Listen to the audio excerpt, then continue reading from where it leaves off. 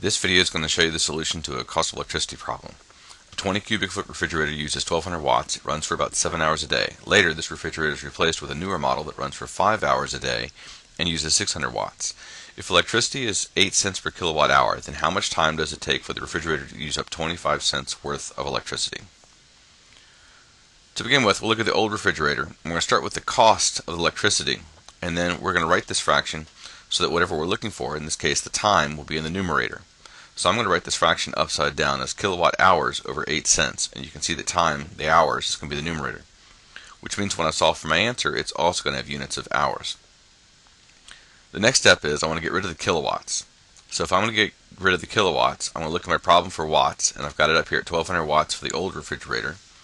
And I'm going to convert that using dimensional analysis into kilowatts. So I use my units, divide up my numbers, and I get 1.2 kilowatts. Now I could also just move it over three, move the decimal place over to the left three decimal places since it's a thousand. Now I'll get rid of the kilowatts in the fraction that I've written by putting it in the denominator. So 1 over 1.2 kilowatts. The next step is to get rid of the dollar sign. So to get rid of the dollar sign, I'm looking at my problem for something else with a dollar sign in it. So in this case, it's going to be the 25 cents. So I'll use 25 cents to get rid of I mean the dollar sign, 25 cents to get rid of the 8 cents. So the dollar signs cancel out. So all my units cancel out except the one I want, which is the hours. When I do the math, I find that it's 2.06 hours.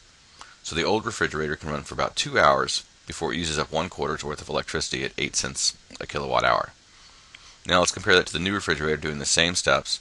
I'm going to start this time by converting over my watts into kilowatts using dimensional analysis and then I'll use the same setup as I had before to figure out how much time it takes. All my units cancel out except hours, and I get 5.21 hours. So the new refrigerator takes 5 hours before it uses up one quarter's worth of electricity. And the old refrigerator runs for 2 hours before it uses up one quarter's worth of electricity.